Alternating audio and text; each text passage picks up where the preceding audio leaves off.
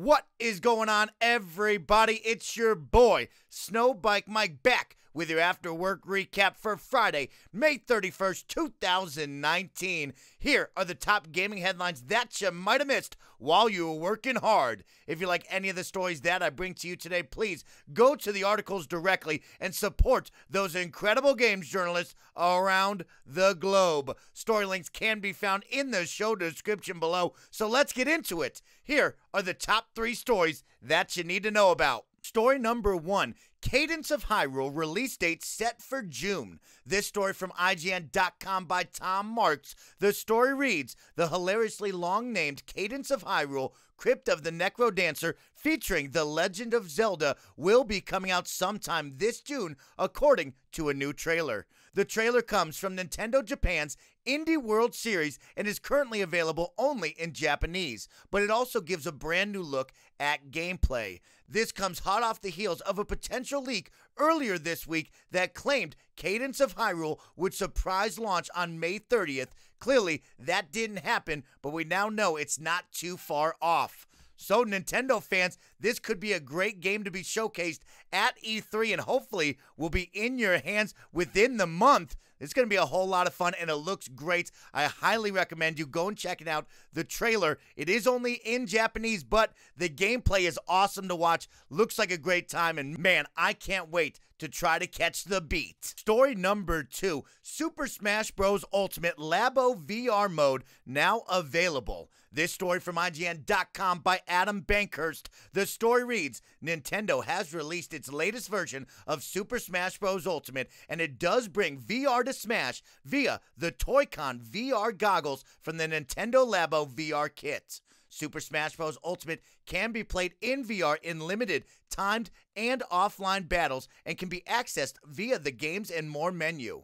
Players can look around dozens of maps and watch CPU fighters battle it out. Additionally, solo players can battle the CPU in VR, but no multiplayer whatsoever is supported all of my Smash fans out there, I can't get a read on this. Is this hot or not? From all the videos I'm watching, it doesn't look good. You're kind of far away, then you zoom in, then you're looking backwards. I don't think this is something that I would ever want to do, but if you do have the Toy-Con VR goggles from the Nintendo Labo VR kit, why don't you let me know your impressions? I would love to know if I need to strap my Nintendo Switch to my forehead to get this experience. Story number three, our final story for your Friday after work recap. Call of Duty Modern Warfare DLC comes first to PS4. This story from GameSpot.com by Eddie Makuch. The story reads The newly revealed Call of Duty game for 2019 Modern Warfare features some major changes to the usual formula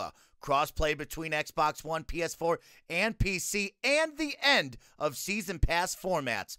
But one important aspect is remaining the same.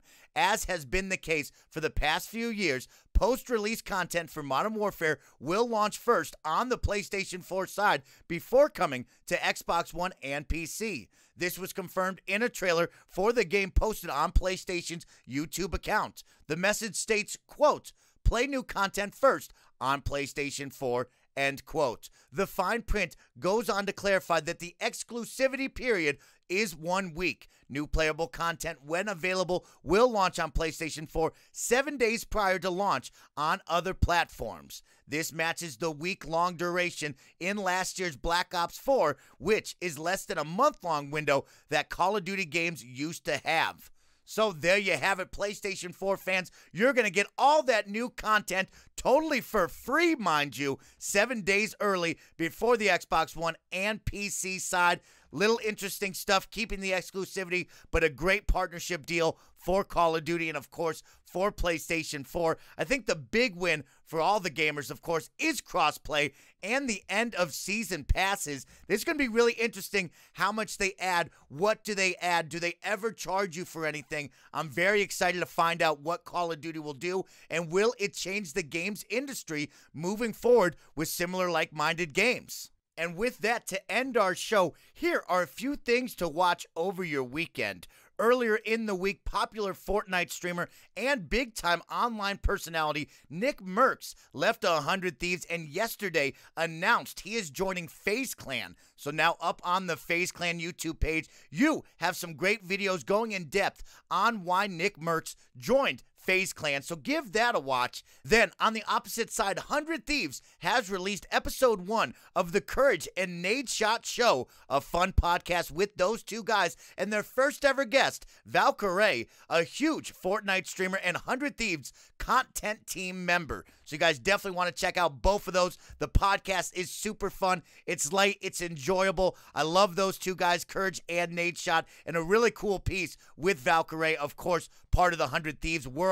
And then on the opposite side, Nick Mercs being able to go in depth on why he joined FaZe Clan. That was a really big announcement that happened Thursday into Friday, and you guys don't want to miss out on that. But this has been your after work recap for Friday, May 31st, 2019. It's your boy Snowbike Mike reminding you that if you liked any of the gaming headlines that I brought to you today, please go to the show description below. I've put in all the article links.